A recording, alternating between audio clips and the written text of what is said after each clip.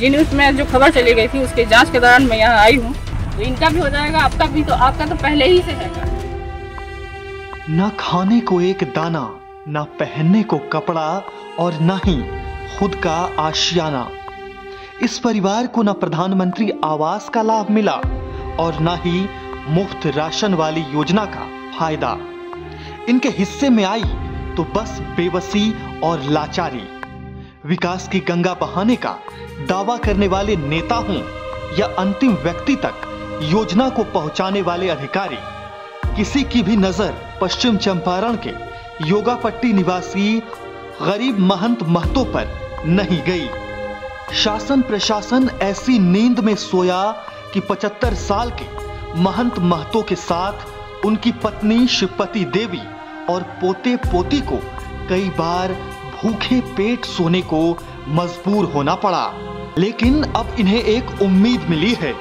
दरअसल इनकी दुख भरी कहानी को जब जी न्यूज़ ने प्रमुखता से उठाया तो कहीं जाकर लापरवाह सिस्टम गहरी नींद से जागा।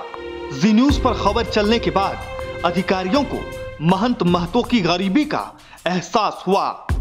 वहीं कल तक जो सरकारी बाबू महंत महतो को अपने दफ्तरों से भगा देते थे अब वो अपनी नौकरी बचाने के लिए खुद महंत महतो की झोपड़ी तक पहुँचे हैं। दरअसल जी मीडिया ने जन सरोकार से जुड़ी इस खबर को प्रमुखता से चलाई, जिस पर पश्चिम चंपारण के डीएम दिनेश कुमार राय ने संज्ञान लिया और अधीनस्थ अफसरों को महंत महतो के गाँव भेजा। वहीं डीएम के निर्देश पर आपूर्ति पदाधिकारी गीतांजलि कुमारी महंत महतो के पास पहुँची। जिसके बाद पदाधिकारी ने महंत महतो की समस्या को जाना और जी मीडिया के कैमरे पर मदद का भरोसा दिलाते हुए क्या कुछ कहा, आप सुनिए। जी, न्यूज़ में जो खबर चली गई थी, उसकी जाँच के दौरान मैं यहाँ आई हूँ और यहाँ पर पाई हूँ कि इनका जो कार्ड है, उस कार्ड में इनका नाम है, इनका बेटा और इनका दो आदमी का नाम है, लेकिन ये अपना आधार सीडिंग नहीं करा पाए हैं, जिसके कारण ये उठाव नहीं कर पा रहे थे।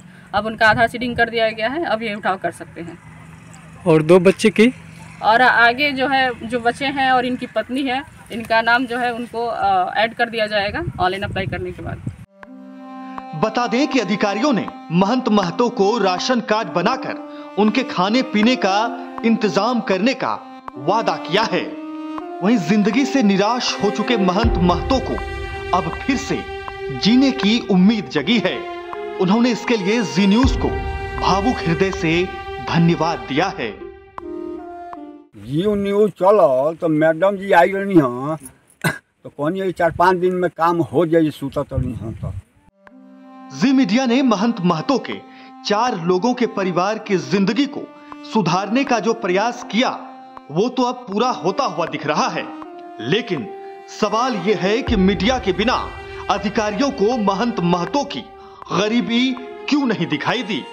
और प्रदेश में न जाने ऐसे कितने महंत महतो होंगे, जो अधिकारियों की लापरवाही का शिकार हो रहे हैं। क्या ऐसे अधिकारियों पर सरकार कोई कार्रवाई करेगी या अधिकारियों के सारे पाप धुल जाएँगे?